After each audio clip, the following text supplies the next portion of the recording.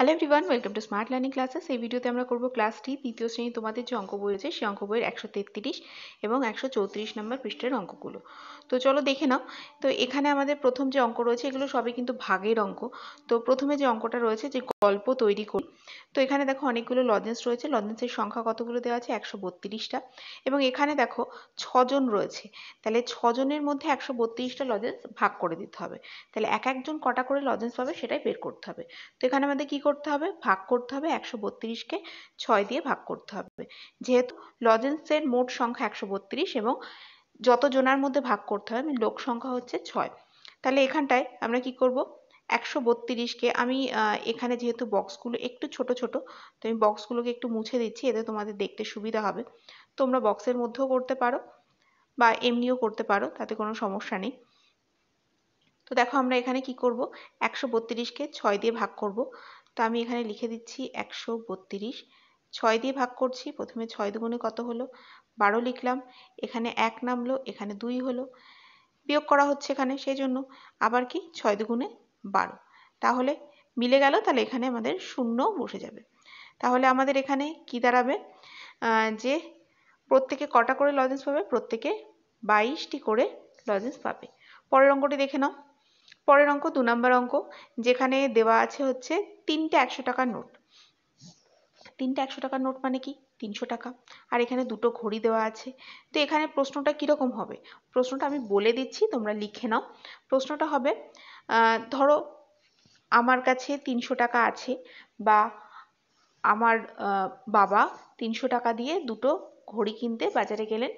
কোনো জন্মদিনে বা কোনো বিয়েবাড়িতে গিফট দেবে বা বাড়ির জন্য দুটো ঘড়ি আনবে, তোমার মতো সাজিয়ে লেখো। লিখতে পারো, আমার বাবা তিন, তিনশো টাকা নিয়ে দুটো ঘড়ি কেনার জন্য বাজারে গেলেন। তাহলে এক একটি ঘড়ির দাম কত হবে বা প্রত্যেকটি ঘড়ির দাম কত টাকা পড়বে? তাহলে এখানে আমাদের কি করতে হবে? এখানে আমাদের তিনশো টাকা, তাহলে এখানে আমি হচ্ছে তিনশো লিখব, তিনশোকে কততে ভাগ করতে হবে? দুই দিয়ে। তাহলে এখানে প্রথমে দেখো, দুই এককে দুই বসে গেল। এবার তাহলে এখানে বিয়োগ করছি আমরা, তাহলে এখানে এক নামলো, শূন্য নামলো, তাহলে আমাদের কত হয়ে গেল? পাঁচ দুগুণে দশ।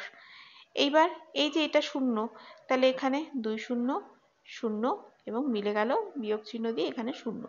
মানে এক একটা ঘড়ির দাম কত পড়বে? দেড়শো টাকা। যে ভাষাটা বললাম, তোমরা সেটা তোমাদের মতো করে লেখো। একটু এদিক ওদিক হলে কোনো অসুবিধা নেই। শুধু মনে রাখবে, টাকার জায়গায় লিখবে তিনশো টাকা আর দুটো ঘড়ি। এরপর আমরা চলে আসছি পরের অঙ্কে। তো পরের অঙ্ক, তিন নম্বর অঙ্ক, পরের পেজের অঙ্ক, দেখো এখানে দেখতে পাচ্ছ, ছবি অনুযায়ী যেটা আমরা দেখতে পাচ্ছি, যে বাস রয়েছে, কটা বাস রয়েছে, ছটা বাস রয়েছে স্কুলে দেখো একজন টিচার রয়েছেন, তার হাতে একটা খাতা রয়েছেন, এখানে অনেকজন রয়েছে, কতজন রয়েছে, তিনশো তিরিশ জন, তাহলে এরকমভাবে লিখতে পারো, যে আমরা স্কুলের তিনশো তিরিশ জন ছাত্রছাত্রী পিকনিকে যাব, সেই জন্য স্কুল থেকে ছটা বাসের ব্যবস্থা করা হয়েছে তাহলে প্রত্যেকটি বাসে কজন করে উঠব? তো এখানে প্রত্যেকটি বাসে কজন করে উঠতে হবে বা একটি বাসে কজন করে উঠবে সেটা বের করতে হবে। তাহলে কতজন ছাত্রছাত্রী? মোট মোট হচ্ছে তিনশো তিরিশ জন। কটা বাস? ছটা বাস। তাহলে এখানে কত হয়ে যাবে? পাঁচ, ছয়, তিরিশ বসিয়ে দিলাম। এবার এখানে বিয়োগ, তিন নামলো, শূন্য নামলো, আবার সেই পাঁচ, ছয়, তিরিশ। তাহলে আমাদের এখানে কত দাঁড়িয়ে গেল? আমাদের এখানে হচ্ছে ভাগফল দাঁড়াল পঞ্চান্ন, তাহলে একটি বাসে কতজন উঠবে? পঞ্চান্ন জন উঠবে। পরের অঙ্কে চলে আসছি। পরের অঙ্ক, এখানটায় তোমাদের মতো করে ভাষা লেখো। তা আমি একটু বলে দিচ্ছি, দেখো এখানে দেখতে পাচ্ছ যে হচ্ছে দুশো পঁচিশটি ফুল। এখানে একজন রয়েছে, ধরে নাও, তুমি রয়েছো। তাহলে এখানে তুমি লিখতে পারো, আমাদের বাগানে মোট কটা গাছ আছে? দেখো, এক, দুই, তিন, চার, পাঁচ। মোট পাঁচটি ফুলের গাছ আছে। আজ দুশো পঁচিশটি ফুল ফুটেছে। তাহলে এক একটি গাছে কটি করে ফুল ফুটেছে? এখানে এক একটা গাছে এক এক রকম ফুল ফুটতে পারে।